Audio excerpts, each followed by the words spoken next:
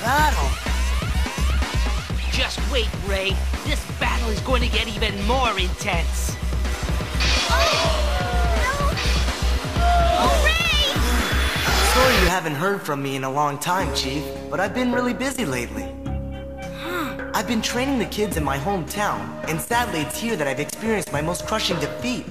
Oh no! My opponent was a mysterious caped boy who showed up out of nowhere and challenged me to a battle. I didn't think much of him at first, but I now know that was a big mistake.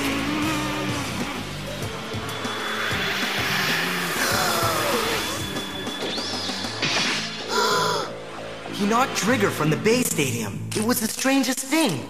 Right before it happened, I felt a mysterious force in the air.